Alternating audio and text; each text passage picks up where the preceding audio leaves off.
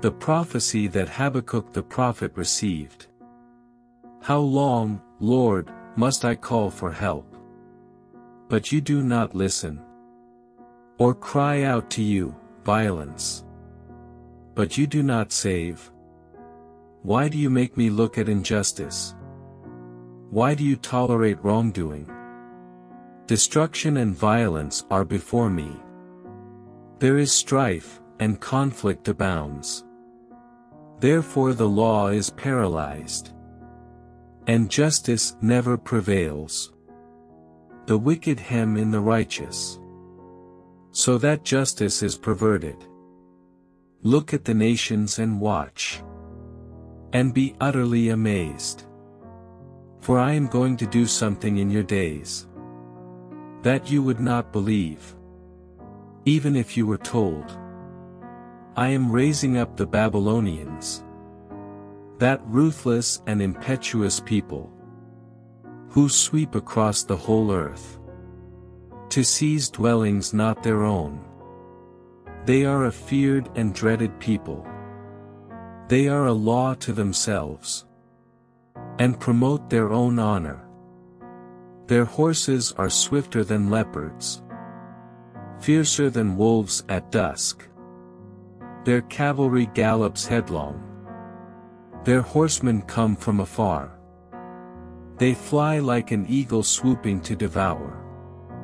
They all come intent on violence. Their hordes advance like a desert wind. And gather prisoners like sand. They mock kings. And scoff at rulers. They laugh at all fortified cities. By building earthen ramps they capture them. Then they sweep past like the wind and go on.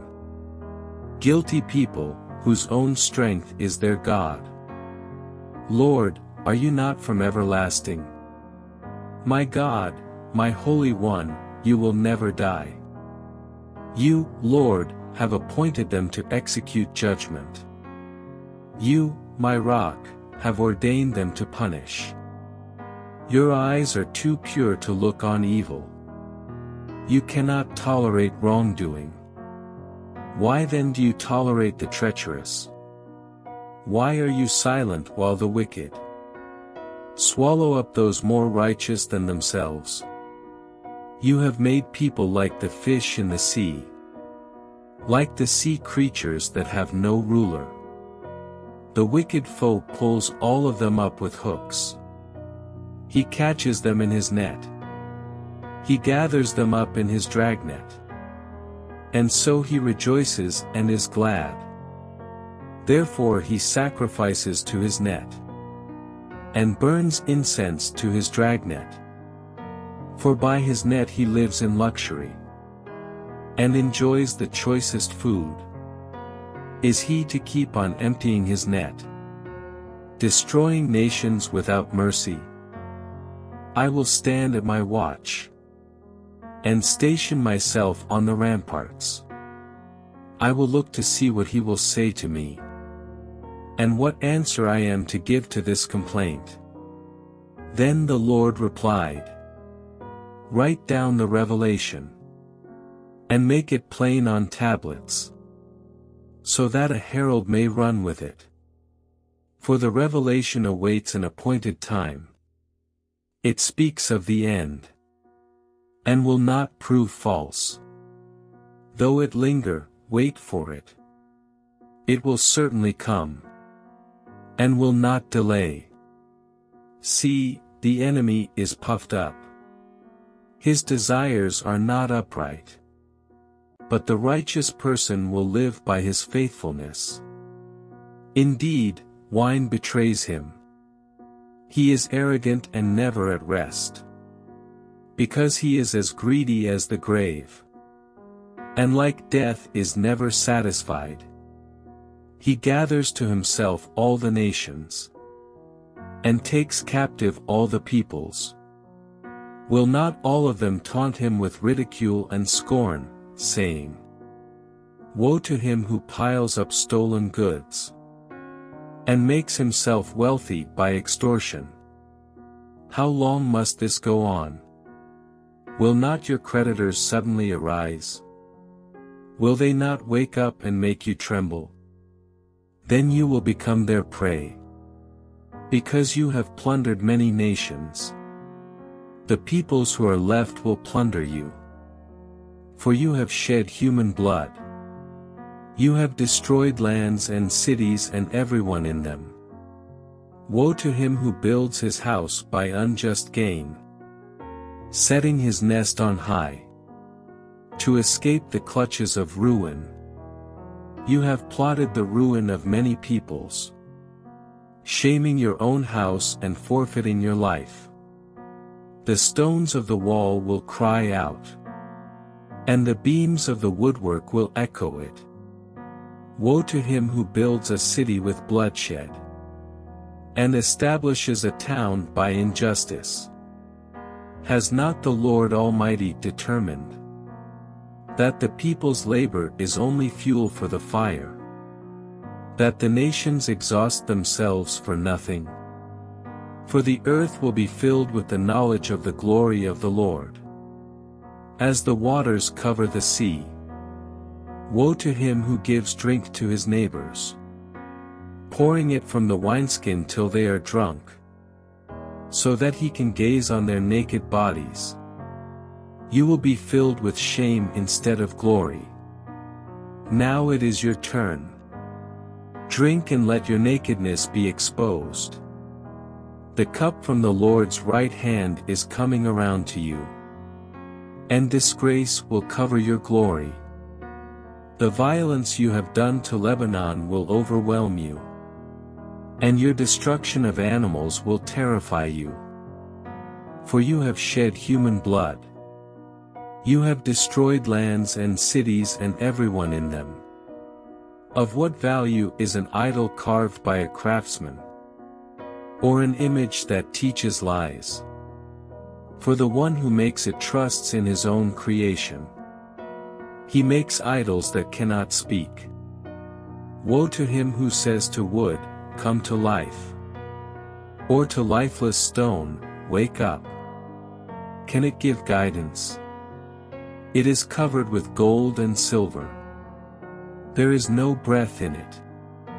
The Lord is in his holy temple. Let all the earth be silent before him. A prayer of Habakkuk the prophet. On Shigionoth. Lord, I have heard of your fame. I stand in awe of your deeds, Lord. Repeat them in our day. In our time make them known. In wrath remember mercy. God came from Teman. The Holy One from Mount Paran. His glory covered the heavens. And his praise filled the earth. His splendor was like the sunrise. Rays flashed from his hand where his power was hidden. Plague went before him. Pestilence followed his steps. He stood, and shook the earth. He looked, and made the nations tremble. The ancient mountains crumbled. And the age-old hills collapsed. But he marches on forever. I saw the tents of Cushan in distress. The dwellings of Midian in anguish. Were you angry with the rivers, Lord? Was your wrath against the streams? Did you rage against the sea? When you rode your horses and your chariots to victory? You uncovered your bow. You called for many arrows. You split the earth with rivers. The mountains saw you and writhed. Torrents of water swept by. The deep roared. And lifted its waves on high. Sun and moon stood still in the heavens. At the glint of your flying arrows. At the lightning of your flashing spear. In wrath you strode through the earth. And in anger you threshed the nations. You came out to deliver your people. To save your anointed one. You crushed the leader of the land of wickedness. You stripped him from head to foot. With his own spear you pierced his head. When his warriors stormed out to scatter us. Gloating as though about to devour.